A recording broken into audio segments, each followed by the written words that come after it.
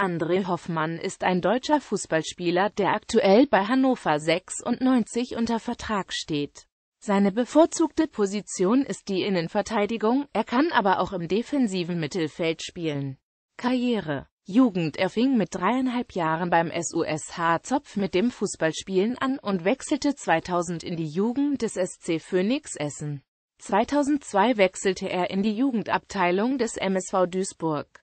2010 wurde er vom DFB in der Altersklasse U17 mit der Fritz-Walter-Medaille in Silber als einer der besten Nachwuchsspieler seiner Altersklasse ausgezeichnet. Hoffmann wurde zur Saison 2010 Elftel in den Profikader des MSV Duisburg berufen und mit einem Vertrag bis 2013 ausgestattet.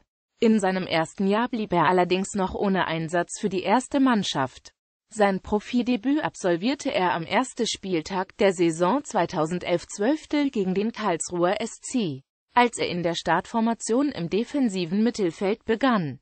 Am 14. Spieltag bei Alemannia Aachen gelang ihm sein erstes Tor im Profibereich. 2012 gewann er in der Altersklasse U19 erneut die Fritz-Walter-Medaille in Silber. In der Winterpause der Saison 2012-13 wechselte Hoffmann in die Bundesliga zu Hannover 96. Er unterschrieb am 3. Januar 2013 einen Vertrag mit Laufzeit bis zum 30. Juni 2016 und erhielt die Rückennummer 15. Am 20. Mai 2014 gab Hannover 96 bekannt, dass der Vertrag mit André Hoffmann vorzeitig bis Sommer 2018 verlängert worden ist. Sein erstes Pflichtspiel für seinen neuen Verein bestritt Hoffmann beim Rückrundenstart gegen den FC Schalke 04, als er in der 77. Minute für Sergio da Silva Pinto eingewechselt wurde. Sein erstes Heimspiel für Hannover bestritt er eine Woche später beim 2:1-Sieg gegen den VfL Wolfsburg.